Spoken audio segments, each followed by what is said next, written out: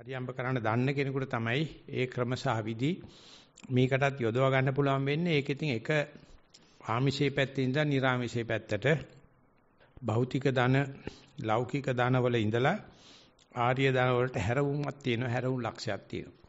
මොකද ඒක සඳහා ඒ ලැබෙන ධන හතම එක විදිහට ඉංගියකුත් වෙනවා. අපි මේ වෙනකොට සාකච්ඡා කරා සද්ධා ධනං සීල ධනං කියන එක. ඉතින් ඒක නිසා ලෞකික ඥාන ලබා ගන්න කිසිම සද්ධාාවක් අවශ්‍ය නැහැ. ඒ කටයුත්ත සඳහා තියෙන කෑදරකම තිබ්බම හොඳටම ඇති.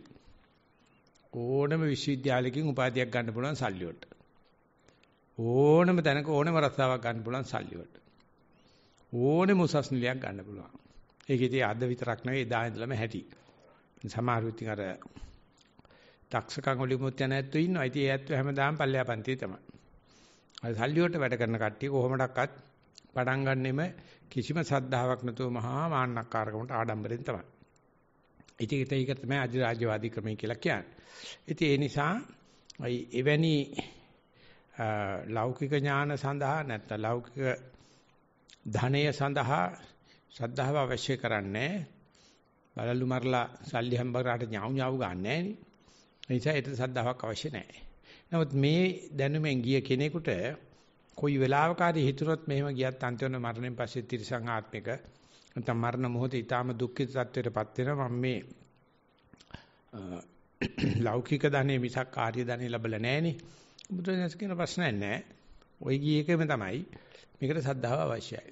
මොකද්ද?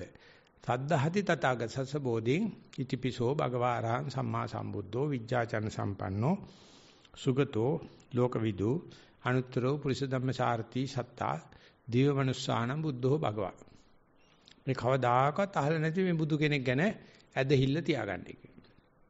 දැන් මේ ඉන්න පිරිස් ඒක පිළිබඳව මං කියන්නේ ඉස්සරලා දන්න කට්ටියක්නේ.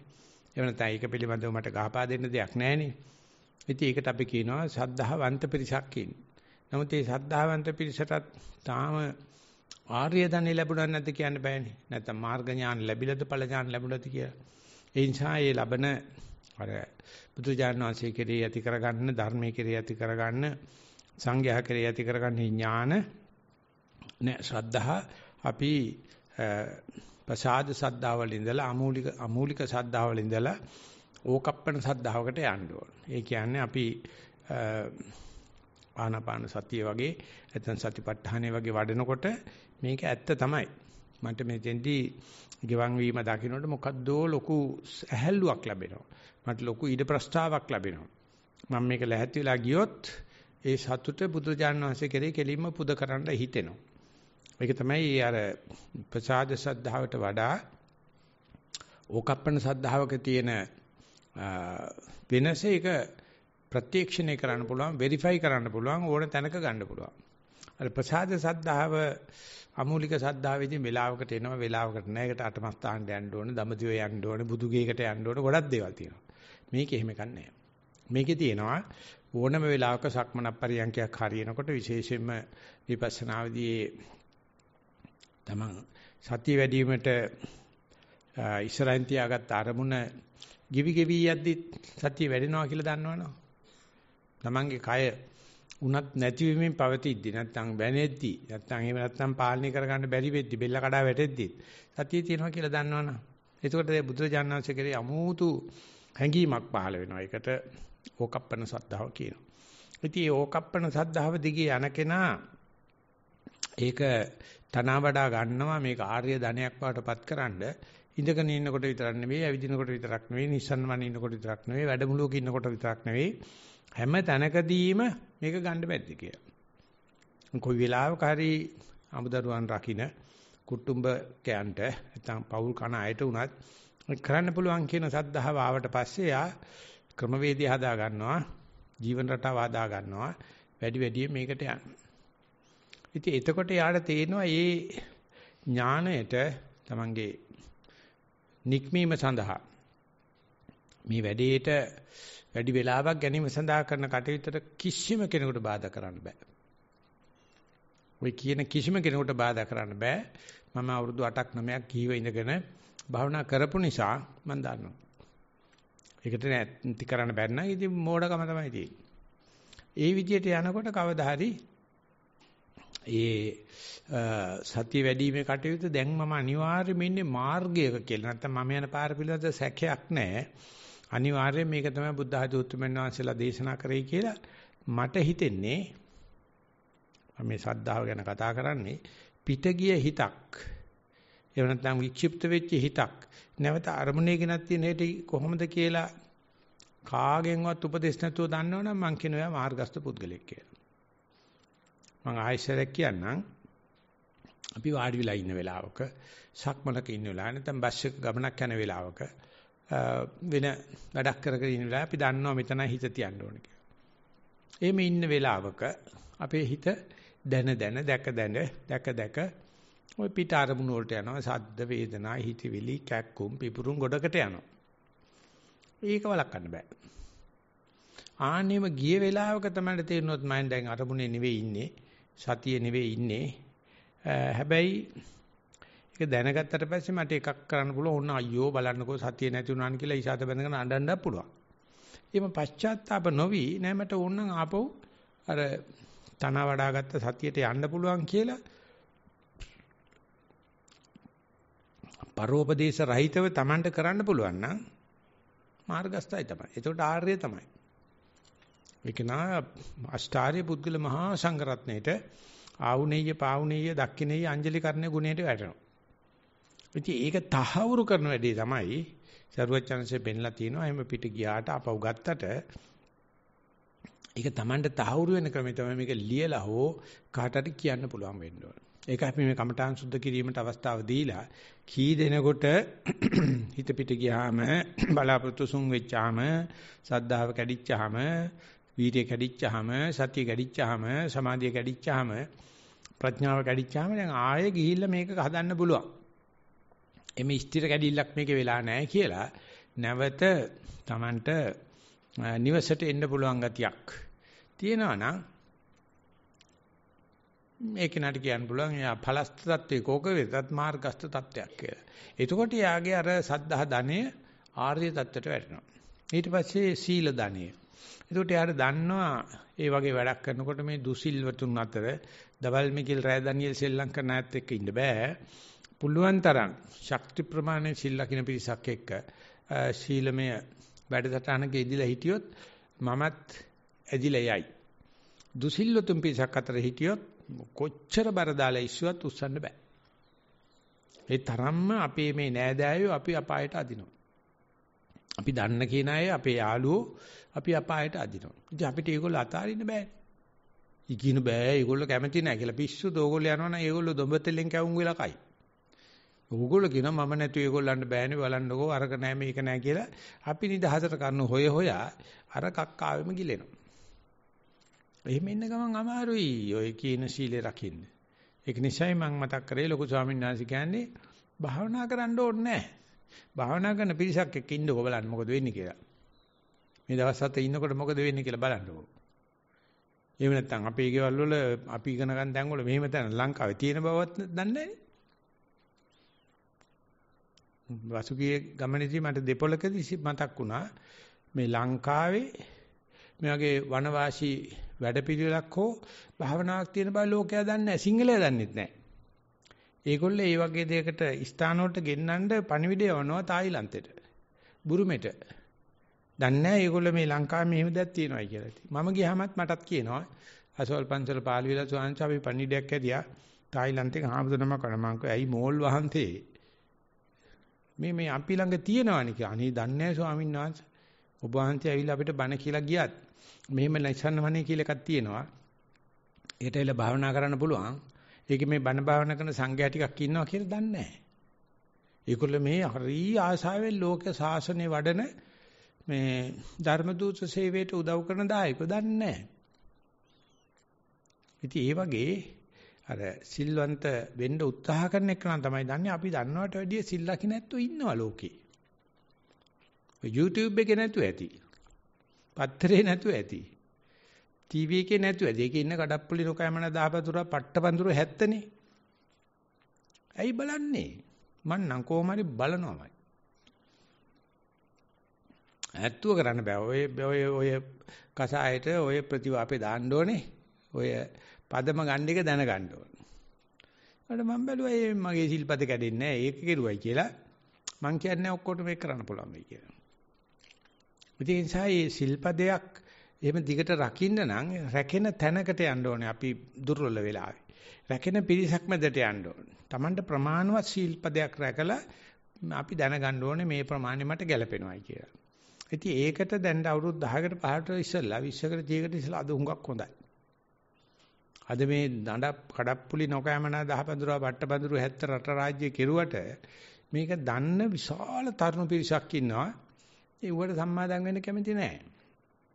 ඒගොල්ලෝ කණ්ඩ කරලා අහනවා කොහෙද ස්වාමීන් වහන්සේ අපිට ගිහිල්ලා පැත්තකටලා ඉන්න පුළුවන් කියලා. මං කියන කෑ ගහන්න එපා. තැන් තියෙනවා. ගිහිල්ලා පුළු පුළුවන් විදිහට දවසක් හෝ දෙකක් හෝ මාසයක් හෝ දෙකක් හෝ රැකපල්ලා. ඉස්සර තිබුණේ නැහැ මෙහෙම මෙහෙම සිරියාවක් මෙහෙම ඕපයක් මෙහෙම සාසන සම්පත්තියක් තිබුණේ නැහැ. ඉතින් ඒක නිසා අපි දන්නවා ඒ සීලයේ උනත් අවශ්‍යතාවය වැඩි වෙලා තියෙනවා. මොකද ඒ තරම් දුස්සීලයි රට. මේ රට හදන්න නෙමෙයි මම මේ කතා කරන්නේ. සමාජය හදන්න නෙමෙයි මම මේ කතා කරන්නේ. සමාජය පිටවෙන ද්වේෂිකුන් නෙමෙයි කතා කරන්නේ. මේ ඔක්කොමත් තියේදී මට මගේ සතිපාසලේදී ඉදිරියට යන්න පුළුවන් වුණා. නිසන්න වනේ එන යන කට්ටිය කියනවා දැන් හොඳයි කියලා. මොකද ප්‍රශ්නේ? අපිට එම් පේන්නේ නැහැ. ඒ කට්ටිය දුසිල් උණයි කියලා අපිත් දුසිල්වත් වෙන්න ඕනේ කියලා. ඉතින් ඒ නිසා මේ සිල්පදේ රැකෙන්නේ ඒ ආර්ය ධනයකට නෑවෙන නැත්නම් ඒකට කියනවා පහිතත්ත්ව මනස කියලා. නිවනට යෙමෙහියෝ හිතක් තියෙන්න ඕනේ. අපමත්තෝ ූපකට්ටෝ පහිතත්තෝ විහෙරෙය්‍යෝ. එහෙම නැතුව මේ කොමල පව් කරනවා අපි මොකෝද කරන්නේ අඩු ගානේ මේ බිත්තර නැත්තම් බෞද්ධ බිත්තරයක් කරේ හොයාගෙන අපිත් කන්න ඕනේ නැත්තම් ප්‍රෝටීන් නැහැ කියලා කියනවනේ. ඉතින් අපි පොඩි කාලේ තිබුණ බෞද්ධ බිත්තර කතාවක්. බිත්තර නම් නොකාම බෑ. නිසා බෞද්ධ බිත්තර හරි කන්න ඕනේ. ආදිවාසීන් අපි අර නිකන් ගැරන්ටි නිකන් නයි වගේ හැසිරෙන්න හදනා වගේ කතාවක් තියෙනවා. ඉතින් එහෙම තියෙද්දි මේක නිවනට මෙහෙයු සිතක් නැත්තම් අපි රකින්න සීලයේ රංගපෑමක් නැහැ. ඒකේ මේ මවාපෑමක් නැහැ. හොඳ නැත්තම් හොඳ නැති බෙතිය තමයි තේරෙනවා. හොඳ නම් හොඳ ගතිය තමයි තේරෙන්නේ. එතරම්. දැන් අපි යනවා ඒ ඒ දැනුමත් එක්ක හිරි දනං කියන එක. හිරිය කියලා කියන්නේ পায়ට බව පවට ලැජ්ජ ගතියක් තියෙනවා. ඒ කියන්නේ නපුරු වැඩක් කරන්න යනකොට පස්සට එන ගතියක් තියෙනවා. ඒක හරියට රත්පත්තු වෙන ඉටිපන්දමකට කුරුළු පිහට්ටක් ලං කරුවාම කුරුළු පිහට්ට උණු වෙවි උණු වෙවි උණු වෙවි උණු වෙවි පිටිවසට එනවා. එහෙම නැත්නම් රත් වෙච්ච ගිනි දැල්ලකට නයිලෝන් නූලක් ලං කරපුවාම ඒකේ පත් වෙලා ඉදිරියට පනින්නේ නැහැ. පස්සේ පස්සට එනවා. අන්න වගේ පවට සහ පවට බයක් ලැජ්ජාවක්. ඒ හිරිය තමයි අද මිනිස්සුන්ගේ නැති වෙලා තියෙන්නේ. ඒක ඉතින් මට වාක්‍යයක් කියන්න පුළුවන්. ඒකට මයිත් එක්ක හොඳින් තරහ වෙන්න නිසා මම කියන්නේ කාගේද වැඩියෙන්ම අද ලැජ්ජ නැති වෙලා තියෙන්නේ කියලා. ඒ නිසා අද තියෙන සමාජයේ තාමත්ම මේ දුස්සීලයන්ට රජ කරන්න පුළුවන්, වෛශ්‍යාවන්ට රජ කරන්න පුළුවන්, මම් පහරන්න රජ කරන්න පුළුවන් ලෝකයක් හැදලා තියෙනවා. මොකද මිනිස්සුන්ගේ ස්වභාවයෙන් පවට බය නැති වෙලා තියෙනවා. මොකද සත්තු මරන්න නැතුව අද ජීවත් වෙන්න බෑයි කියලා කියනවා. හොරකම් කරන්න නැතුව ජීවත් වෙන්න බෑයි කියලා කියනවා. කාමීත්‍යචාරය කරන්න නැතුව ජීවත් වෙන්න බෑයි කියලා කියන ඔය පළවෙනි ලෝකේ රටවල් වල ඔය තුනම සාධාරණීකරණය කරලා තියෙනවා. ඉතින් අපිත් ළමයි පිටරට යවනවා PhD ගන්න යනවා කියලා කියන්නේ ওই ටික තමයි ඉගෙනගෙන එන්නේ. ඇවිල්ලා කියන ලංකා හදන්න බෑපා. ඇයි ඒ? අයි මේකට හිටගෙන හරි ඉඳගෙන සත්තු මරන්න ඕන. හොරකම් කරන්න ඕනේ. කාමීත්‍යචාරය කරන්න ඕන. එහෙමනම් අත්තමිට කාසිබණන් හොඳ හැටි තියෙනවා නම් හිටගෙන මන් දිවි ලෝකෙ මවන්නම් කියලා කොළඹ රංගරේ රැයට සිරිපුර වගේ හදාගෙන ඕන තරම් ඉන්නවා සල්ලි තියෙන කට්ටිය මේකට එන්න. හැබැයි අර තුන පාවා දෙන්න ඕන. ප්‍රසිද්ධි නලු නිලියෝ. ප්‍රසිද්ධියම කියනවා තමන්ගේ ජීවිතය බයලජ්ජාව නැති කරගන්න කැමති නම් ඔයාට ලෝකේ ඕනම ප්‍රසිද්ධියක් ඕනම මුදලක් දෙන්න. ජීවිතේ දෙන්නකෝ සාතන්ට එහෙම නැත්නම් මාරයට. මේ ප්‍රසිද්ධිය කියනවා. මට බින්දෝසේ බයක් ලැජ්ජාවක් නැහැ. හොරකම පිළිබඳ බයක් ලැජ්ජාවක් නැහැ. කාමීත්‍යාචාර පිළිබඳ බයක් ලැජ්ජාවක් නැහැ. සත්තු මරන්න බයක් ලැජ්ජාවක් නැහැ. ඒකේ මේ දියුණු ලෝකේ පළවෙනි ලෝකේ රටවල් වලට ගියාම ඒක රාජ්‍ය තාන්ත්‍රිකව කෙරෙන හැටි බලනකොට මේකත් ලෝකයක් ධර්මානිස් කියලා හිතෙනවා. ඉතින් එවැනි හිරි ගතියක් හිරි වල අනිත් පැත්තට අහිරික කියලා කියනවා. අහිරික ඕ අනෝතත්ත හිරි ඕතප්ප මේ දෙක එකට යන්නේ. හැබැයි මේ සප්ත ආර්ය ධනවල වෙන් වෙන් වශයෙන් පෙන්ලා දීලා තියෙනවා. ඉතින් මේ පවට බය එහෙම නැත්නම් moral shame එහෙම නැත්නම් healthy shame කියලා මේකට ඉංග්‍රීසියෙන් කියනවා. මිනිස්සු තුල ඒක නැත්නම් කවම දාකවත් ආචාර ධර්ම රැකෙන්නේ නැහැ. කවදාකවත් සමාජ පද්ධතියක ආචාර ධර්ම හෝ රැකෙන්නේ නැහැ. මොකද ඔක්කොමලා මේ සමාජයේදී දවල් මිගෙල් ඉන්නවා රැයට ඩැනියෙල් වෙනවා. ඉතින් ඒ නිසා ඒගොල්ලෝ වගවීමක් නැහැ. ඉතින් එතකොට ගෙදර හැදෙන දරුවා දන්නවා අම්මයි තාත්තයි ලැජ්ජ නැති බය නැති කට්ටිය කියලා. ලැජ්ජ නැති කට්ටිය කියලා. දාය ගිහියෝ දන්නවා හාමුදුරුවෝ ලැජ්ජ නැති කට්ටිය කියලා. ලෙඩ්ඩු දන්නවා දොස්තරලා ලැජ්ජ නැති පාහර වැඩක් කරන්න කියලා සෞඛ්‍ය කියලාද. මේ නීතිය රකින්න කට්ටිය දන්නවා නීතිඥයෝ ඔක්කොමල බොරුකාරයෝ කියලා. ප්‍රසිද්ධ බොරුකාරයෝ. රාජ්‍ය තාන්ත්‍රිකය කරන රාජ්‍ය තන්ත්‍රයේ යටත් වෙච්ච රටත්‍යසිය දන්නව රජුරෝ තන්නි කර බොරු ලැජ්ජ නැති වෙනී කියලා. ප්‍රසිද්ධියේ පැලෙන්න බොරු කියනවා. දැන් මේ පසුගිය අවුරුදු දෙකේදී ඒ ප්‍රධාන රටවල රාජ්‍ය නායකයෝ මේ ඇස්පනා පිට බොරු කියන හැටි වෙනමම වීඩියෝ පටි හදලා තියෙනවා. ඒ බොරුව කියනකොට ඒ රාජ්‍ය නායකයා මයික් එකෙන් පිට බලලා ඇස් දෙක නිකන් බලල් ඇස් කරගෙන අර බොරුව කියන හැටි.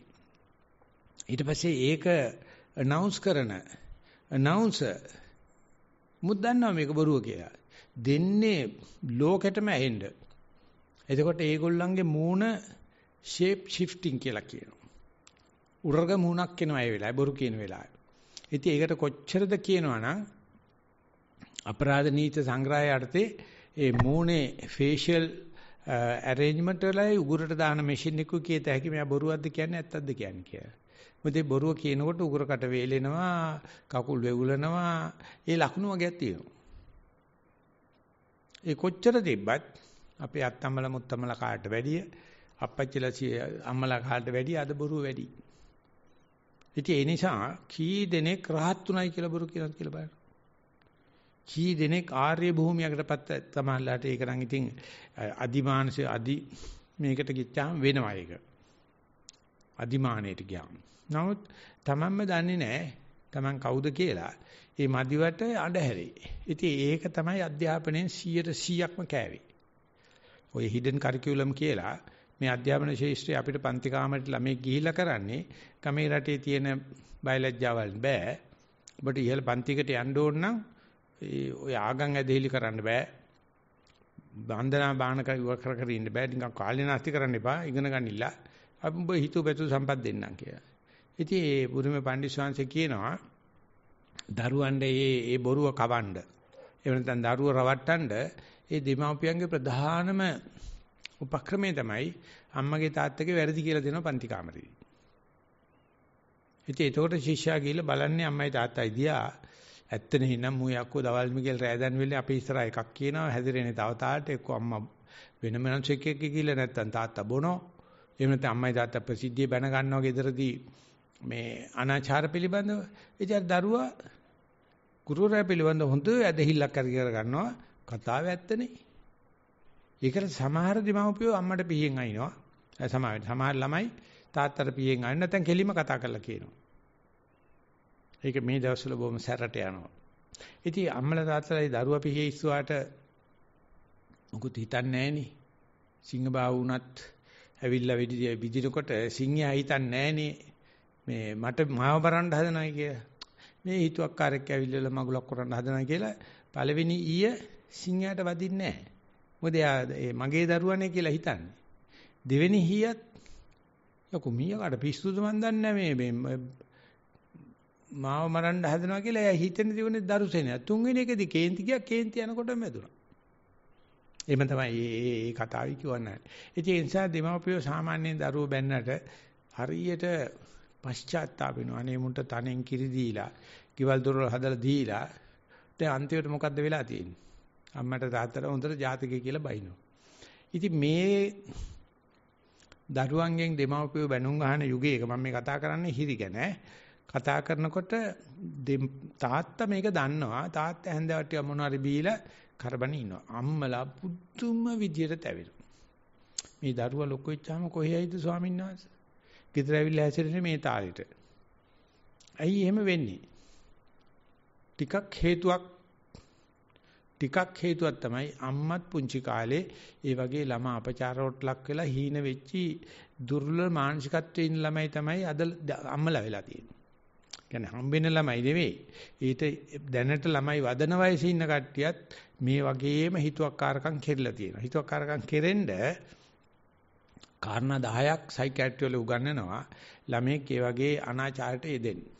ඒවට කියනවා adverse childhood experience කියලා. ළමයාට ඒ නපුරු දේවල් දැක්කහම එයා මොනවාට කමකින් පිට කරනවා. ඒක කුඩු ගන්නවා, ඒක බොනවා, එහෙම නැත්නම් තාත්තට ගන්නවා, එහෙම නැත්නම් අම්මට ගන්නවා. ඒක කරනවා. ඉතින් එතකොට අර අම්මලා ඒක කියනකොට මේ ඇඟේ තියෙන අර රිදෙන ගතිය හොඳට තේනවනේ ස්වාමීන් වහන්සේ මොනවා හරි කරලා මේ දරුවා කොට දාලා දෙන්න. කොච්චර අමාරුවෙන් දරුවෙක් වැදුවේ. කොච්චර අමාරුවෙන්ද මුන්ට මේ ලොකු ලොකු ඉස්කෝල වලට දාලා හැදුවේ. ඒ තරමටම හිරි නැහැ. ඉතින් ගෙදර මිනිහා මොකද දෙන්නේ? අනේ මේ මනුස්සයාට කියලා වැඩක් නැහැ ස්වාංශේ මේ මනුස්සයා ගණන් ගන්නෑ. අන්තිම බලනකොට අම්මයි තාත්තයි මේ ඉෂුව එකට ගහගෙන. දරුවගේ අර තියෙන කඩප්පුලිකම හිෙම්ම යනවා. දැන්ට මේ වෙනකොට අම්මයි තාත්තයි මේ හොඳට පෞල් කාගෙන හිටපු කට්ටිය. ඉතින් මේක මේ පිරිහීගෙන යන ක්‍රමේ කියන්නේ අපේ අත්තම්මල මුත්‍රාන්ට වැඩිය අපේ අම්මලා නැහැදිච්චකම් තියෙන නැති. අම්මලාට වැඩිය අපි නැහැදිච්චකම් තියෙනවා. අපේ දරුවෝ ඊට වැඩිය නැහැදිච්ච. ඉතින් අපි හිතන්නකෝ මේ වගේ බණ භාවනා කරලා මොන ක්‍රමෙන් හරි දහං ගැටයක් දාගෙන අපි ලබන ආත්මේ manussත්ව වටිලාභයක් ලැබුණයි කියලා. ආයෙ උපදින්න වෙන්නේ අපේ මිනිමිරියගේ බඩේනේ. උන්ට බයලජ්ජාව නැහැනේ. ඒසොට ඒතන ඉපදෙනකොට අපිට තියෙයිද ගතියක්. මෙම සිංහල සංස්කෘතිය කියලා එකක් තිබ්බා. බයලජ්ජාවක් කියන එකක් තිබ්බා. අපි උපදින්නෙම පිරිච්ච සමාජයකට. ඉතින් එතකොට අපිට මොන සැප සම්පත් තිබුණත් වාහන තියෙනවා, ගෙවල් දොරවල් තියෙනවා, හොඳ රස්සාවල් තියෙනවා මොනවා හම්බුණත් අර තිරිසන් මට්ටමේ තියෙන එකට කියන්නේ රෙප්ටිලියන් ලයිෆ් කියලා. එහෙම නැත්නම් ඒකට කියන්නේ තිරිසන් යුගය කියලා. ඉතින් එහෙව් එකක් නෑ ලෝකේ හැමතැනම මේ මට්ටම ගිහිල්ලා නිකන් මොකල්ට ඕනේ නම් ඇමරිකාවේ ෆිලඩෙල්ෆියා කියලා ගහලා බලන්නකෝ. ඉන්න හරියක් මිනිස්සු ඉන්නේ බාගෙට හෙළුවේ.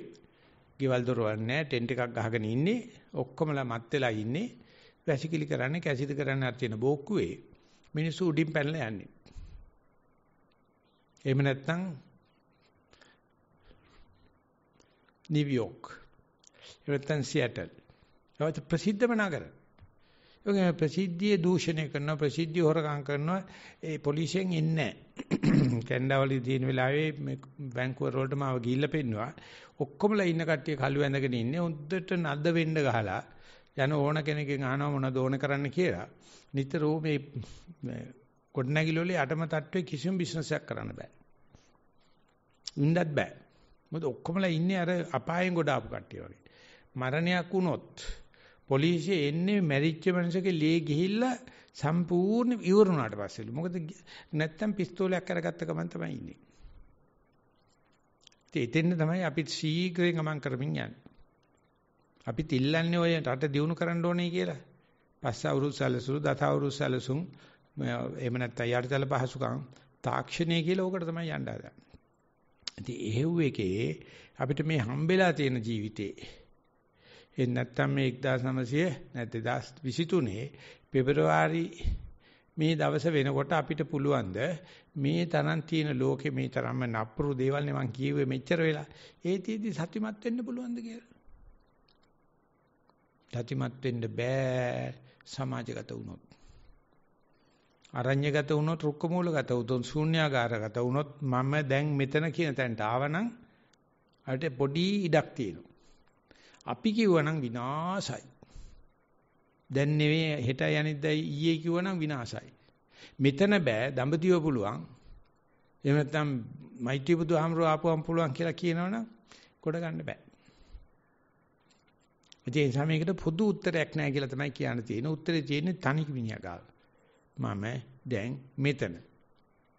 ඉතින් අර හිරි වැඩි කෙනාට මම දැන් මෙතන ඉන්නත් බෑ. යාට අමාරුවක් දැනෙනවා. තනිකන් දෝෂයක් දැනෙනවා. පාළුවක් දැනෙනවා. එපා වෙනවා. ඉතින් භාවනා කරලා හරි අපි අර ඒ අවශ්‍ය තැනට එනකොට ඒ බය ලැජ්ජාව තියෙන මනුස්සයාට සයිකියාට්‍රික් ඉම්බැලන්ස් එකක් එනවා. අවිල්ලි වල හිතන දැන් මේ මගුල ගිහිල්ල වල භාවනා කරලා දැන් මමත් නැති වෙනවා, කයත් නැති වෙනවා, ආනාපානෙත් නැති වෙනවා, සතියක් නැතුව වගේ තේරෙනවා මගුලක් තමයි වෙන්නේ දැන් ගෙදර යනකොට මේ දෙතිස් කුණ පෙත් කෑලි අඩි වෙලා තියෙයි දන්නේ නැහැ ගෙදර යනකොට කවුරු හරි දැක්කොත් එහෙම මොනවා කියයිද දන්නේ නැහැ කියලා ආයෙ අත ගාලා බලනවා අර ගෙනාවු සෙට් එක තියනවාද කියලා. ඒ සයිකියාට්‍රික් ඉම්බැලන්ස් එක ආවට පස්සේ නිවනට ලැබෙන සියලුම ලකුණු එහෙම නැත්නම් නිවන ලැබෙන මේ අබිනිෂ්ක්‍මණය නිබ්බිදාව එහෙම නැත්නම් විරාගය එහෙම නැත්නම් මේ විරංජනය ඕටිස්ටික් ලකුණු වගේ තමයි පේන්නේ. එයා ඇතුළට නැමිච්චාම එයාට පේන්නේ ඕටිස්ටික් රේන්ජ් එකේ මිනිස්සු තව කෙනෙක්ගේ මූණ දිහා බලන්නේ කවුරුත් කතා කරට ඇහෙන්නේ නැහැ. ඒක දැන් ලංකාවේ වුණත් මම හිතන්නේ කවුරුත් වගේ දන්නවා ඇති මේ ඕටිසම් කියන ලෙඩේ ගැන. මම ඉගෙන ගත්තේ ওই බ්‍රිස්බේන් වල ගිය වෙලාවේ කෙනෙක් මට කියලා දුන්නා. ඉතින් ඒකයි අර භාවනා කරනකොට යාට ලැබෙන අත්දැකීම් වල මේ අරමුණු ගෙවි ගෙවි යනවා දකින්නකොට ඔය බයලජ්‍ය දෙක පිළිබඳව මානසික සෞඛ්‍යයක් නැති කෙනාට දරන්න බෑ. ඉතින් කියනවා භාවනා කරලා පිස්සු ඇදිනවයි කියලා. ඒක නිසාම මට උගන්වපු ප්‍රධාන අවුරුදු 20 30 වෙච්ච ආමතුරු තුන් නමක් විතර සිවුරු ඇරියා. බෑ මේ භාවනා කරන්න ගියාම බර ගන්නකොට පිස්සු ඇදිනවා කිය. ඉතින් ඥානාරාම ස්වාමීන් අහලා තිනවා අවසරයි ස්වාමීන් වහන්සේ මෙහෙමයි ලুকু ප්‍රසිද්ධ කතාවක් තියෙනවා මේ භාවනා කරලා පිස්සු ඇදිනවා කියලා ඔබ වහන්සේ ගොඩක් කල් භාවනා කරලා තියෙනවානේ. ඔබ වහන්සේ මොකද කියන්නේ? ඕ ඒක නම් කතාව ඇත්ත. හුඟක් වෙලාවට මම ආයස්මතුන් මේ භාවනා කරලා පිස්සු ඇදෙනදී පිස්සු භාවනා කරන එක තමයි තියෙන්නේ කිව්වලු. භාවනා මධ්‍යස්ථාන පිරිලා තියෙන ඔන්න ඔගේ බයලජ්ජ නැති පිස්සු ආගෙට පිස්සු තියෙන කට්ටියකින් තමයි. ඒකයි අපි මේ පටන් ගන්නකොට අටසිල් සමාදන් කරවන්නේ. ඕක නැතුව කරන්න ගියොත් මේකට එන්නෙම සයිකියාට්‍රික් ඉම්බැලන්ස් තියෙන මේ ගෙවල් දොරවල් වල ඉන්න බැරි පිස්සු පිහාට්ටෝ. ගහපුවාම අර සෞඛ්‍ය සම්පන්න කෙනාට උනත් වසන්න බැරි තත්ත්වයක් එනවා. අපි ඒක නිස්සන්න වනේ බේරුවේ අපි රිට්‍රීට් ඕගනයිස් කරන එකනට අපි තොරතුරු ලියලා පොතක් දීලා තියෙනවා.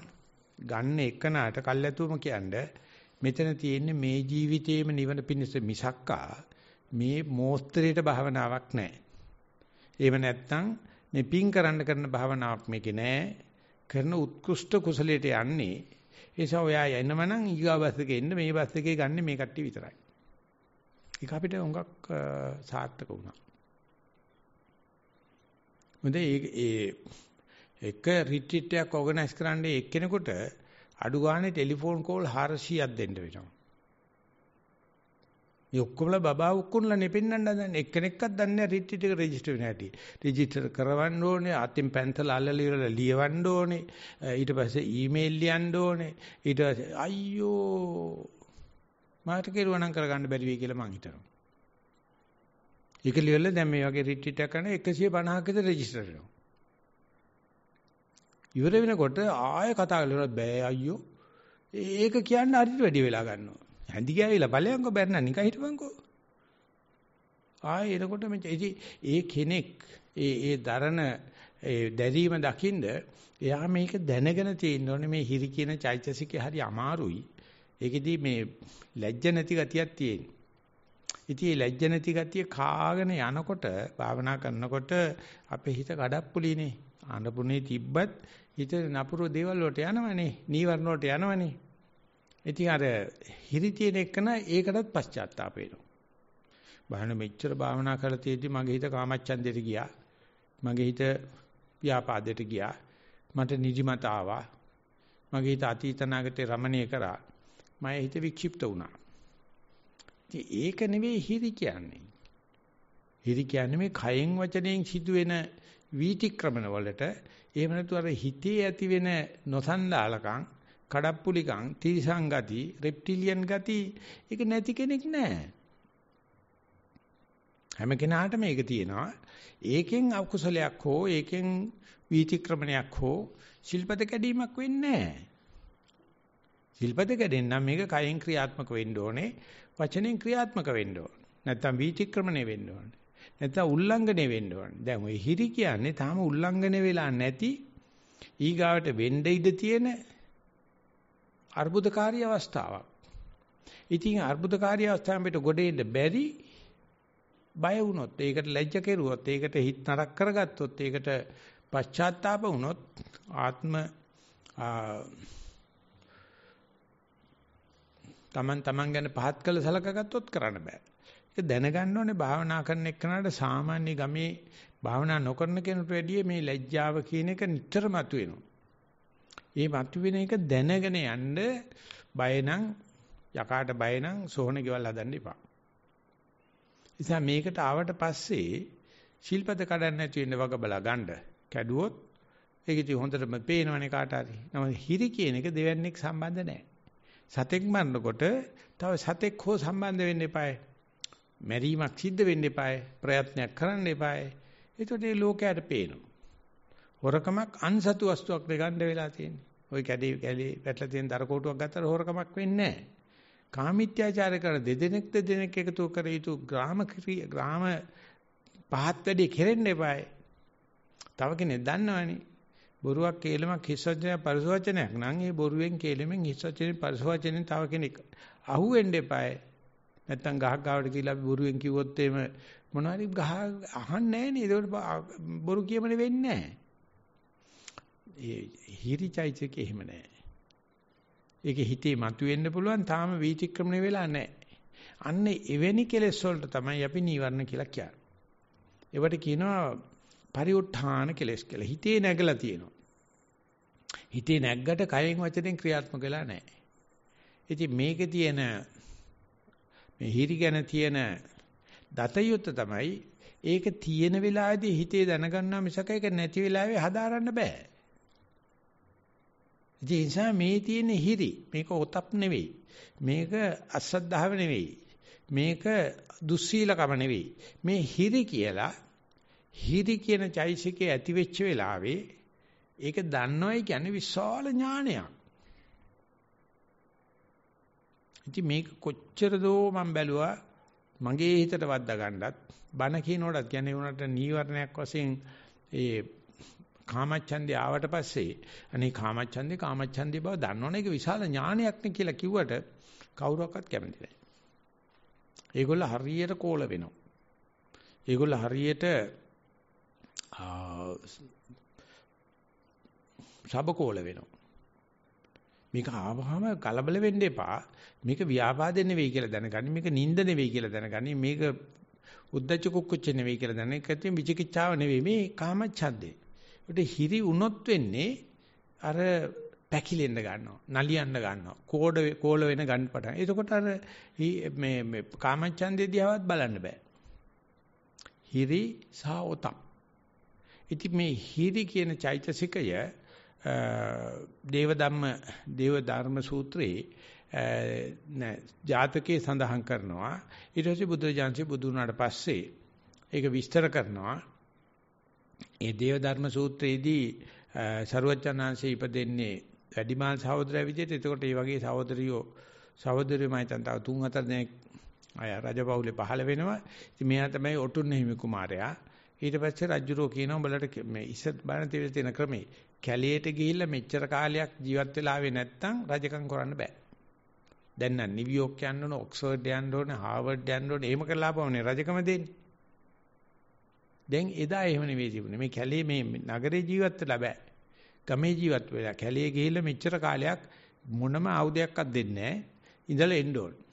ඉතින් පස්සේ මහබෝසත් වහන්සේ පිට වෙනකොට අනික් සහෝදර සහෝදරත් කියනවා අපිත් එහෙනම් යනවයි කියලා. මේ රජුරෝ අඩුම කොටුම සකස් කරලා දෙනවා යනවා. ගිහිල්ලා කැලේ ඉන්න කාලේ යන තැනකදී මේ හතර දිනාටම පිපාසයක් මතුවෙනවා. ඊට පස්සේ මා බෝසත්න් වහන්සේ පොඩි මල්ලියට කතා කරලා කියනවා මලයා ගිහලා පොඩ්ඩක් බලපංකෝ වතුර ටිකක් තියෙන තරම් කියලා ගියා එන්නේ නැහැ මිනිස්සයා. ඊටසේ දෙවෙනි මල්ලිත් අරිනවා. ඊටසේ ඊගා මල්ලිත් අරිනවා. දැන් ගියාට මොකද එන්නේ නැහැ. එතකොට මෙයාට තියෙන මොකක් හරි අනතුරක් කියලා. යනකොට තියෙන ලස්සන විලක්. අර තුන් දෙනාම ගිය පිය සලකුණු තියෙනවා ආපු පිය සලකුණු නැහැ. එතකොට යා විලෙත්‍රේ නතර කරගෙන නැතලා ඉන්නවා දැන් මෙතන ගියොත් අහුවෙනවා. එතකොට යහපත් පුරුෂයෙක් ඇවිල්ලා කියනවා මේ මොකද ඔබතුමා මේ වතුරකට ගාවට වෙලා ඉන්නවා ති පිපාසයි යන්නේ නැත්තේ ඊට පස්සේ කියනවා පේනවාද මේ ගියලා සලකුණු තියෙනවා ආපු සලකුණු නැහැ ඒක නිසා මෙතන මොකක් හරි යකෙක් අරගත්ත විලක් උඹ කවුද කියලා අහනවා යහපත් එයා තමයි යකා ඉතින් යක්කුවේ ගතාවක් තියනවලු කෙලින් ඇහුවොත් උඩ බෑ කියන්න නෑ කියන්න බැරිලු එසොට යකා යක්ෂ වීසේ පහලා කියනවලු තව අඩියක් ඉස්සරහට තිබ්බනම් ඔයා මගේ ශේෂ්ඨයට එනවා. ඊට පස්සේ මට ඔයාට අනුකම්පාවක් නැහැ. මම ගිහිල්ලා මට මරාගෙන කන්න මට යම රජුරෝ එහෙම නැත්නම් මොන හරි ඒ කට්ටියගේ මේ නිලේ දීපේ කනට බලතර තියනවා කියලා. ඉතින් රජුරෝ මේ මේ බෝසාන් වංශේ ගොඩ ඉඳගෙන කියනවා බොයි මගුල කරලා කොච්චර කාලයක් ඊට පස්සේ කවුරු වරන් දුන්නත් විනාශ වෙයිද දන්නේ ඒ නිසා මේකේ මොකක් හරි ගැඹුරක් ඇති කියලා. ඊට පස්සේ කියනවා මට දීලා තියෙන වර මෙච්චරයි. කායින් හරි ඇහුවොත් දේව ධර්ම දන්නවද කියලා ඒ දේව ධර්ම දන්න කෙනෙක් මට කන්න බෑ. මට කන්න පුළුවන් වෙන්නේ මේ නිකං පෘතජ්ජනිය විතරයි. ධර්මේ දන්නේ නැති කෙනා. ඒක නිසා මට මේ කවදා හෝ මම මේ කරන වැඩෙන් මට දේව ධර්ම දන්න කෙනෙක් හම්බුනොත් මටත් මේ යක්ෂාත්මේ මිදෙනවා. එතකොට මට අර තියෙන සාපෙන් මිදෙනවා කියලා. ඉතින් ඊට පස්සේ කියනවා මේ මේ බෝසත්ණන් වහන්සේ කියනවා මම දේව ධර්මේ දන්නවා. යකා ඉතාමත්ම සන්තෝෂ වෙනවා. සන්තෝෂ වෙලා කියනවා අනේ මට කීයක් හරි දෙන්න නෑ නෑ මගේ මල්ලිලා තුන් දෙනා නිදහස් කරන්න ඕන. නෑ නෑ එම නිදහස් කරන්න බෑ. මට කිව්වේ නැත්තම්. ඊට කියනවා හඳුන් කිරිපෙණියම ආව නාවපන් ආසනය පනවපන් මමට දේව ධර්මයේ දේශනා කරනවා දේශනා කරනකොට මට සහෝදර තුන් දෙනා ඕනයි කියලා. කියලා මේ බයලජ්‍ය දෙක පිළිබඳව. ඒකට සුක්ක ධම්ම, දේව ධම්ම, ලෝකපාලක ධම්ම කියලා විශාල අගයන් ආඩම්බරෙන් දීලා තියෙනවා අපේ පොතේ පතේ. දේශනා කරාට පස්සේ මේ බෝසත්ණන් වහන්සේට වැඳලා ඒ මල්ලිලා තුන්දෙනා නිදහස් කරනවා. ඊට පස්සේ ඒ මල්ලිලාගෙන් එක්කෙනෙක් මේ සරුවච්චන් වහන්සේ වුණාට පස්සේ ඒ කියන්නේ සම්මා සම්බුද්ධත්වයට පත් වුණාට පස්සේ දවසක මේ අරිෂ්ඨ එහෙම නැත්නම් ඒ මධ්‍යසාරයේ හදපු බේත් වගේක් දැන දැනම බීලා මත් වෙනවා. ඩෝප් වෙනවයි කියලා කියන්නේ. පස්සේ රජ මේ හාමුදුරුවෝ කියනවා මේ බලන්න මේ මේ බුද්ධ ශාසන වල කරන වැඩ කියලා මේ දැන් කාලේ නෙවෙයි ඈ. මේ කියන්නේ බුදුහාමුදුරු ඉන්න කාලේ. ගෙනල්ලා දාපුවාම මේ ගඳ කිලිය බුදුහාමුදුරු ඉන්දියට කකුල් දෙක දාලා මේ දපලා ඉන්නවා. මෙයාට සීපත නැහැ. ඒ බුදුහාමුදුරු මොකද්ද මේ? අනේ ස්වාමීන් වහන්සේ මේ බලන්න මේ ඔබ වහන්සේගේ ශිෂ්‍යෝ කියලා කියාගෙන සිවුරත් පෙරවගෙන මේ නගරේ විශාල විදියට මේ නරක නමක් ඇති කරන ඉතින් අපි ගෙනත් දැම්මයි කියලා. ඊට පස්සේ බුදුදහම කියන ඔය යකාට බයලජ්ජාව කියන එක පිළිබඳව මම ජාතක කතාවකත් කියලා තියෙනවා. මං එදා බේරගත්තත් ඔය යක්ෂයාව. ඒත් බලපන් තාම මේක තියෙනවයි කියලා එයාට සංවේගයේ පහල කළා දෙනවා. ඒ හිරි කියන ධර්මයේ දිහා. ඉතින් අද ඉන්න දෙමාපියන්ට කිසිම සුදුසුකමක් නැහැ දරුවෙකුට හිරි ගැන උගන්වන්න. මොකද දෙමාපියෝ ළඟ එහෙම එකක් නැහැ. විශේෂයෙන්ම අද උගන්වන ගුරුවරු ගාව ඒ ළමයි ඉදිරිපිට පෙනී හිටින්න විශේෂ ගුණ නැහැ. ලෞකික ඥාන තියෙනවා. උන්ට පොඩි උන් කියන්නේ පොඩි නෑ. උන්ට තේරෙනවා. මේගොල්ලෝ මේ අපි ඉස්සරහා මේ කවුදෝ කියපු මූල ධර්ම උස්සගෙන ඇවිල්ලා මේ එහෙම නැත්නම් ඒ සමීකරණ ලියන හිටියට මුන්දලා දන්නෙත් නෑ ඒක. මුන්දලා ඒක වෙරිෆයි කරලත් නෑ. අනිත් එක මෙයා උගන්වන්න මොකක්ද තියෙන සුදුසුකම. කිසිම තැනක ඇත්තේ නෑ. ඉස්සර ගුරු ගෙදරට යන කෙනෙක් ගුරුතුමාට තිබුණ බයක් නෑ. මොකද ගුරුවරු සල්ලි වලට නේ වැඩ කරන්නේ. අද හාමුදුරුවෝ ඉන්නවලු කොළඹ දිස්ත්‍රික්කේ විතරක් 5000ක් විතර මේ කුලියට කහින. ආණ්ඩුවට බැල මෙහෙරකම් කරන. ඉතින් එතකොට උගන්නේ වෙ නැත්නම් ශිෂ්‍යයා ගුරුන්වහන්සේට විරුද්ධව පෙසමක් ගන්න. මම පුරු ඉන්න කාලේ හිටියා මේ අල්ලපු කාමරේ මානසික ඇත්තම කියනවා මානසික අසහනයක් තිබුණේ එයාට ලතින් භාෂාව හොඳට පුළුවන් මේ ආවිල්ලි වෙලා මං හිතන්නේ මේ ග්‍රීසිය වගේ ඉපදිලා ඉතින් විශ්වවිද්‍යාලේ කියලා ලතින් භාෂාව උගන්වනවා ඉන්නකොට මට තේරුණා මේ මගුල හරියන්නේ නැහැ කියලා පණ්ඩිතාරාම ඇවිල්ලා භාවනා කරනවා භාවනා කරනකොට එයා කියනවා දැන් මෙයා මේ භාවනා කළ ඉඳලා යනකොට ආයසරයක් අර ලතින් භාෂාව ගැන්වීමේ දේශක නිලයේ යාට හම්බ වෙයිද නැද්ද කියලා බයයි. යාට හරි බයක් තියෙන මිනිස්සෙක්. ඉතින් යාගේ සුපර්වයිසර් කතා කරනවා ඔයා භාවනා කරන්න වයි වෙන්න එපා ගිහිල්ලා කරන්නයි කියලා. ඉතින් මයි කාමරේට හැම වෙලාවෙම ඇවිල්ලා කියනවා අනේ මෙහෙමයි ඔබ වහන්සේ දැන් පැවිදිලා ඉන්නේ මම ගිහියා භාෂාව නම් මම දන්නවා. මං උගන්වන ළමයි මට ලකුණු දුන්නේ නැත්නම් මට ලැබෙන පාර ලෙක්චර් මේ පෝස්ට් එක හම්බෙන්නේ. කවුද? ගුරුවරු ළමයින්ට ලකුණු දෙනව නෙවෙයි. ළමයි ලකුණු දෙන්න ඕනේ ගුරුවරයා හොඳයි කියලා. අද බලන්න මොකද වෙලා තියෙන්නේ කියලා. ඉතින් දෙයිද නැද්ද දන්නේ නැතිලු. බොහොම ඒ වගේ කෙනෙකුට ළමයි හතර පහ දෙනෙකුට ඉතින් හම්බෙන්නේ නැහැ. ඒත් එයාගේ සුපර්වයිසර් කියනවා ඔයා ගැන බය වෙන්න එපා. ඔයා භාවනා කරන්න මං ආපුවම කරලා දෙනවා කියලා. මම නිතරම කියන්නේ මගේ රස්සාව රඳාපවතින්නේ ළමයි මට ලකුණු දුන්නොත්. ඒක නිසා පත්‍රේ දාලා තිබුණා නිකන් විහිළුවක් ඒකේ කියලා තිබුණා රාජ්‍ය කරන නායක අපි අගමැතියෝ ජනාධිපතිය හරි බයලු අධ්‍යාපන ඇමතිට. මොකද යාතේනේ ඉස්සරහ හදන්න තියෙන්නේ. අධ්‍යාපන ඇමති මේ රාජ්‍ය නායකයා බය වුණාට එයා බයලු ඒ අමාත්‍යාංශයේ සෙක්‍රටරිට. ඌනේ ඔක්කොම වැඩ කරන්නේ ඇමති මොනවක්වත් දන්නේ නැහැ. ඒ සෙක්‍රටරි ඇසිස්ටන්ට් සෙක්‍රටරිට බයයි නැත්නම් ඇඩිෂනල් සෙක්‍රටරිට බයයි. ඇඩිෂනල් සෙක්‍රටරි බයලු ප්‍රාදේශීය මේ අධ්‍යක්ෂකවරුන්ට. ඒ ප්‍රාදේශීය අධ්‍යක්ෂකවරු කලාප අධ්‍යක්ෂකවරුන්ට ඒ මෙහෙම බයයි. ඉතින් ඒගොල්ලෝ ලොකු සර්ට බයයි. ලොකු සර් ඒ ඉස්කෝලේ ඉන්න ටීචර්ස්ලාට බයලු. මොකද ඒගොල්ලෝ ලකුණු දුන්නත් ලොකු සර් ලොකු සර්කම හම්බෙන්නේ නැහැ. ඒ මේ ටීචර්ස්ලා ළමයින්ට බයයි. මොකද ළමයි ලකුණු දුන්නොත් දැන් ටීචර් ළමයි මොකාටවත් බය නැහැ. උන්ට එහෙම නැහැනේ කවුරක්වත් ලකුණු දෙන්නේ කවුරක්වත් නැහැ. පෙල්ලුනොත් gederනේ. ඒ නිසා මේ හයරාකි එකේ හිටලා තියෙන්නේ සම්පූර්ණ අනිත් පැත්ත හැරිලා මේ කුලියට අධ්‍යාපනය දෙන්න ගිහිල්ලා. ඕකට අධ්‍යාපනය කියනවා නම් මොනවටද මේ සත්‍ය ආර්ය ධන? සත්‍ය ආර්ය ධන. ඒක අවශ්‍ය කරලා වෙන්න නම් අපි මේ කවදාකවත් නැතුව පුංචි ළමෙක් වගේ බිග්ිනර්ස් මයින්ඩ් හදාගෙන නිහතමානී වෙලා අපි හිරි කියන ධර්මයේ අහිරික වෙන්නේ නැතුව හිරි. ඉතින් ඒක හදාගන්න හැටියක් කියලා දෙන්නවත් අද ඒක දුර්ලභ වස්තුවක් වෙලාද. අපි හිතන්නේ මොනම දෙයක්වත් ඕනේ මන්ත්‍රීතුමාගේ ලියුම තියෙනවනම් සල්ලි තියෙනවනම් උගත්කම තියෙනවනම් ඕන දෙයක් කරන්න පුළුවන් කියලා. එහෙම තමයි ඇත්තටම සමාජය කොට ගහලා තියෙන්නේ. ඉතින් එහෙව් හැදිච්ච කෙනෙක් අපිට මහවයි කියලා අරණ්‍යයකට පැවිදි වෙන්න නැත්තම් බණ භාවනාවක් කරන්න මේ වගේ වැඩමුළුවකට ආට අපි කියන ඕගොල්ලෝ ආවනම් මෙන්න මේ නීති ටික රකින්න ඕනේ. එහෙම නැත්තම් මෙහි බාර ගන්නෑ. ඒකවත් කරන්න පුළුවන් වේද කියලා බලන්න මෙතන සල්ලි දීලා භාවනා කියනවා නම් අපි කිව්වොත් මේ වැඩමුළුවක් ගන්න කරන්න අපිට රුපියල් 500ක්වත් යනවා. ඒ නිසා සල්ලි දෙන්න රුපියල් 500 දීපු ගමන් එයා අයියා වෙනවනේ. එයා අක්කා වෙනවනේ. මේ ඒව මොකක්වත් බෑ. 100%ක්ම නොමිලේ. මේ කියන විදිහට ඉඳලා කරනවා නම් කරපන් නැත්තම් ඵලයක්.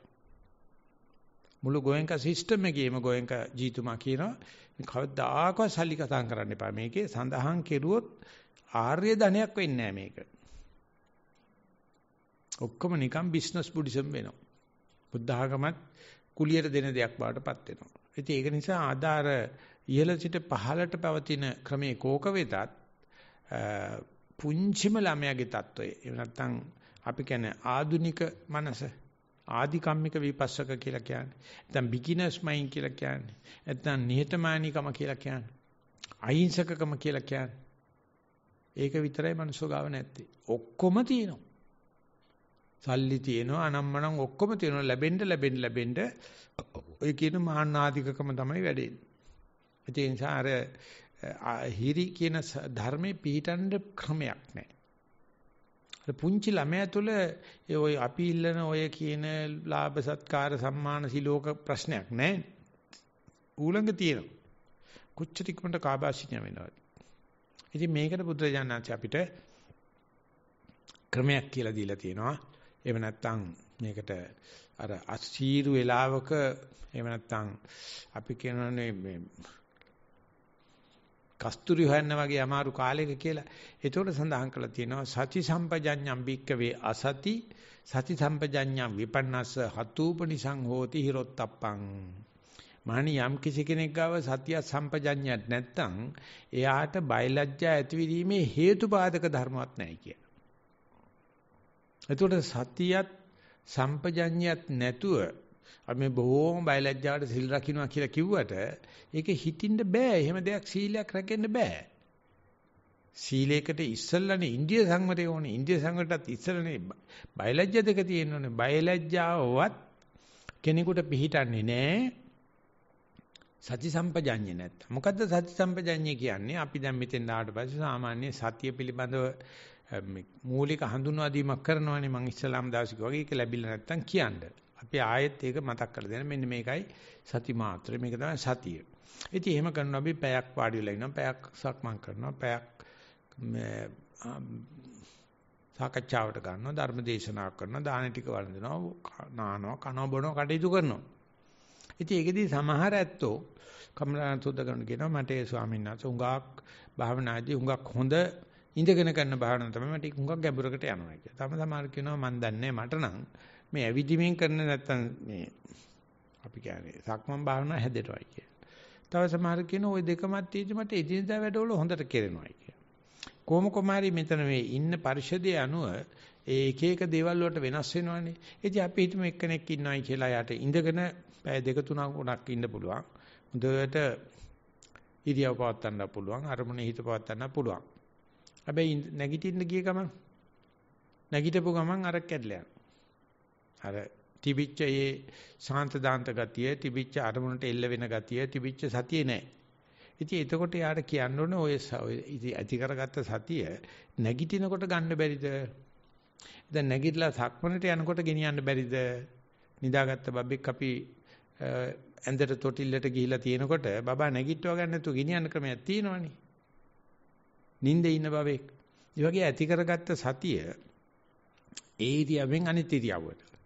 ඉතින් ඒකට නිසන්වනේ අපි පාවිච්චි කරන හුරතල් වචනේ තමයි ඉරියාපත සංදිස්ථාන. මේ ඉරියවෙන් අර ඉරියවට යනකොට අපි උත්සාහ කරොත් මේ ඇති කරගත්ත සතිය නැති වෙන්න දෙන්නේ නැතුව තනවා වඩා ගන්න උත්සාහයේදී කියනවා ඉරියාපත සංදි වල තියෙන සතියට සති සම්පජඤ්ඤය කියලා කියනවා. ඒක නිසා සතිපට්ඨාන සූත්‍රයේ සම්පජඤ්ඤ පබ්බේ කියලා එකක් තියෙනවා. ඒකෙදි පෙන්නනවා ගතේ තිතේ නිසින්නේ සුත්තේ ජාගරිතේ තුන්නී භාවේ භාසිතේ කියන මේ හැම ක්‍රියාකාරකම් පද්ධතිය තුළ මෙහෙම නැත්නම් ඒ ධර්ම પરම්පරාව තුළම සතිය පවත්වන්න ඕන. ඉඳගෙන ඉන්නකොට තියෙන සතිය නැගිටිනකොට කැඩෙන්න පුළුවන්. කැඩුනොත් එයාට සතියේ තියෙන සම්පජඤ්ඤේ නැහැ.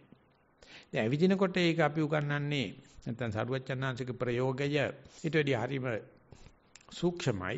හොඳට මේ ලනුපැදුර දිගේ යනකම් අපිට සතිය තියෙනවා. ගිහිල්ලා හැරෙනකොට සතිය කැඩෙනවා. අයි යම් ප්‍රමාණයකට මූලික උපදේශ ලැබලා සක්මන දිගේ පවත් ගන්න පුළුවන්. නමුත් එහා කොනට යනකොට ඔන්න හිත පයින්නවා ඇහැට, කනට, නාසයට, දිවට. ඉතින් ඒගොල්ලෝ හිතනවා මේක ගිහිල්ලා ලෝකේ වටේ ගිහිල්ලා ආපහු මේකට මෙන්න පුළුවන් නම් හොඳයි හැරෙන්නේ නැතුව වගේ කියලා. එහෙම එකක් නෙවෙයි.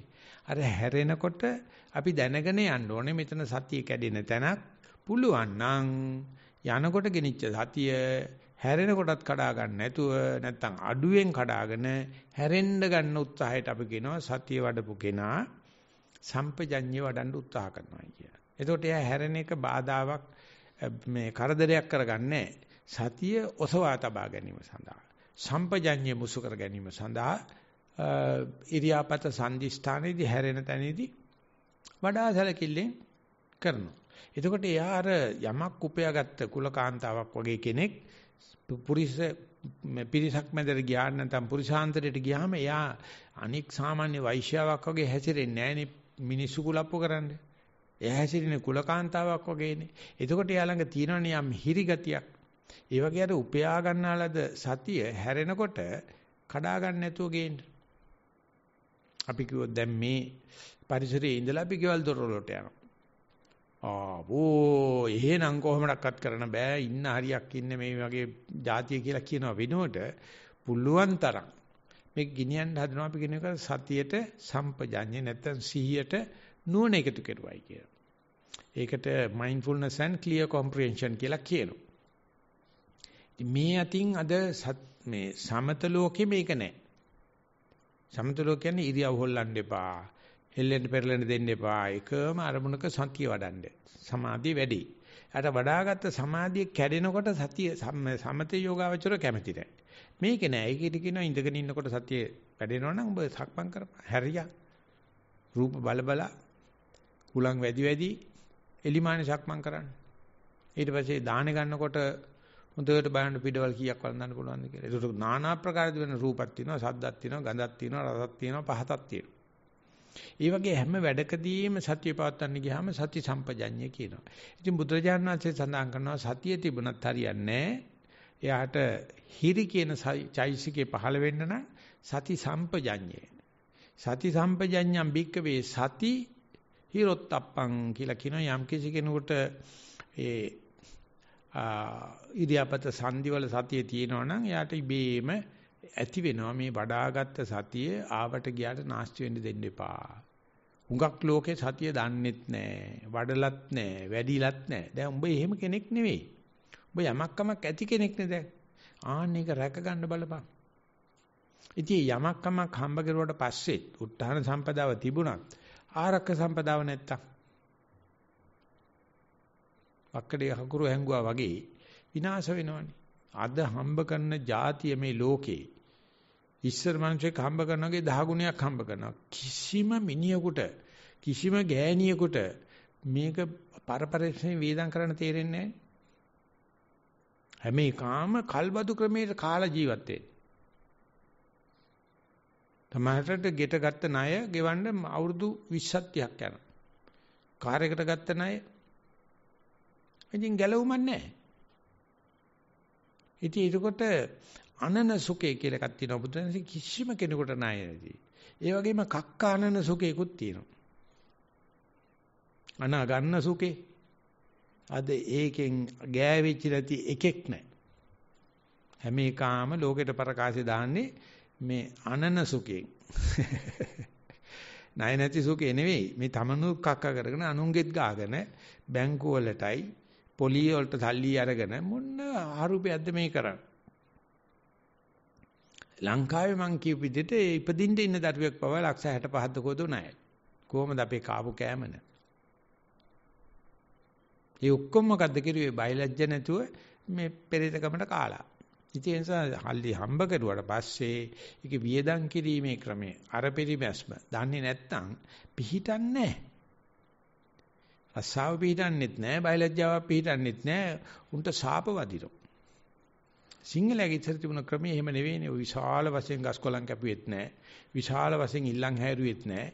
ওই තියෙන ටිකෙන් යැපිලා. ඒ අර අර පිටිපැසුන් දායක සබ් මේ සබ්සිස්ටන්ස් ෆාමින් සිස්ටම් එකක් තිබ්බේ. විනාශ වෙන්නේ නැහැ. පරිසරය විනාශ වෙන්නේ නැහැ. දැන් බලන්නකෝ කොච්චර පොළොව හැරුවත්, කොච්චර ගස් කොළන් කැපුවත්, කොච්චර පිටරටින් ಜಾති ගෙනාවත් තාම ඉවරයක් කියන එකක් නැහැනේ. පෙරේත જાතියක් නේ ඉන්නේ. ඒ නිසා තෝමස් මර්ටන් කියන මිනිසයා එයා මම හිතන්නේ ඉතාලි ජාතිකයෙක් මං හිතන්නේ. ප්‍රංශේ ඉගෙනගෙන ගොඩාක් මේ කතෝලික ආගමේ ඒ ටැපෙස්ට්‍රි කියන නිකායේ ටැපිස්ට් ට්‍රැපිස්ට් නිකාය උගා උග්‍රව භාවනා කරපු කෙනෙක්. හැබැයි මේ නිවනක් ඒකේ නෑ. මේ භාවනා කරගෙන ඉන්නකොට යාට හම්බෙලා තියෙනවා සෙන් මාස්ටර් කෙනෙක්. එහෙම නැත්නම් මහායාන මේ බුද්ධ ආගම කෙනෙක් එයා හම්බුනාට පස්සේ මෙයා දැකලා තියෙනවා මේ මහායාන බුද්ධ ආගමේටත් එච්චර නැති වුණාට මේ ඒගොල්ලෝ භාවනා කරන්නේ මේ ජීවිතේම පිරිසුදුක් සඳහා. කතෝලික නිකායවල එහෙම කන්නේ නැහනේ. දිව්‍යන් වහන්සේත් එක්ක සම්බන්ධ වෙන්නේ තියෙන්නේ. ඊට පස්සේ යාට ලොකු එලියක් හම්බෙලා තියෙනවා. මේ මහායාන එක්ක නිසා ගොඩක් කතා කරලා තියෙනවා. කතා කරලා ථේරවාදයේ නැත්තම් එයා කියලා තියෙනවා ඔය අපි ළඟ තිබ්බට බඩු හොඳ දේ තියෙනවා ථේරවාදයක තියෙන ලංකාවේ කියලා. පස්සේ මිනිස්සයා අනුරාධපුරයට ගිහිල්ලා එක තැනම බුදු පෙරාම සත්‍යකේ සැතපෙන පිළිමයයි ඉඳගෙන ඉන්න පිළිමයයි සක්මන් කරන පිළිමයයි තුනම තියෙනවනේ ගල් විහාරේ. ඒක බැලුවා විතරලු. එයාකලු මම නිවන් දැක්කයි කියලා.